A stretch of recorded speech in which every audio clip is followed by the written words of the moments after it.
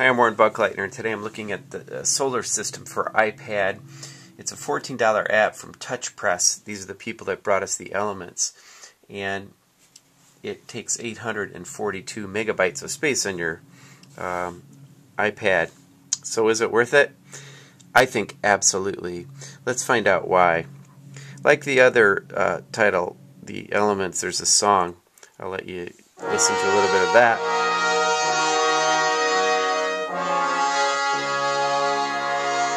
If I want to skip the song, and I can jump right to the uh, planets.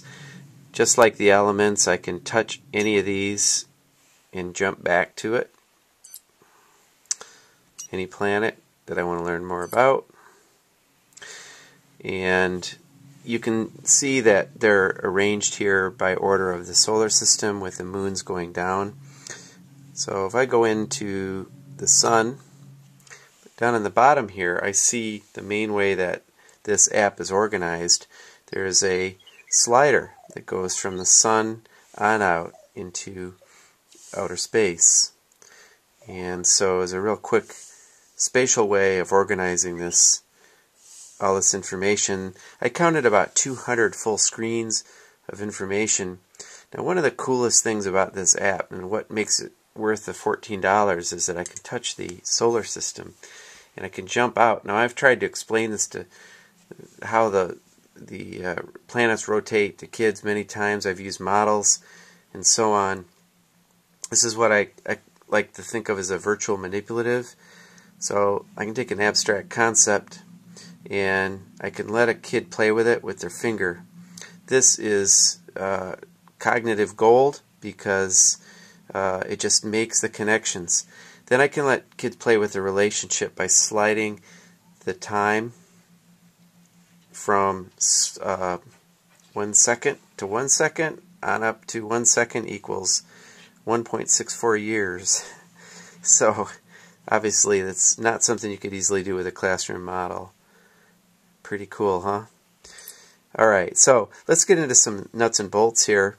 Um, let's take a, let's go back to a planet let's just choose Saturn. And here I can do the things I'd expect I'd, that I'd like to do on an iPad. Um, I can learn more about Saturn specifically by sort of forwarding through and zooming into the different kinds of um, encyclopedic pages about it. Um, then one of the things I can do is go to a gallery and see real pictures of Saturn. For each of these pictures, again, this is just exactly what I want to do with this. I'm just going to put hundreds and hundreds of real, rich bits of information at a child's fingertips. Pretty, pretty wonderful thing to just explore.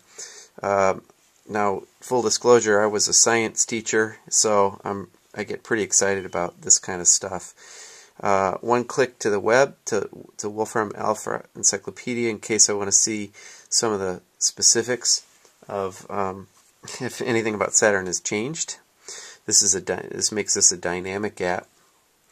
One of the things I noticed that I that, that I didn't see that I always like on any sort of a reference is some form of search. Um, there is a, a directory here I can zoom right in. Um, but if I wanted to search on, say, one of the Saturn's moons, or uh, um, I, I'd kind of like to zoom in on that um, faster. However, that's a pretty minor complaint. All in all, um, there's so much just laid at your fingertips. There's not much to not like about the solar system. Um, all in all, well worth the the very pricey $14 and 850 uh, megabytes of space. Uh, I'm uh, really excited by this app. I'm Warren Buckleitner. We'll see you next time.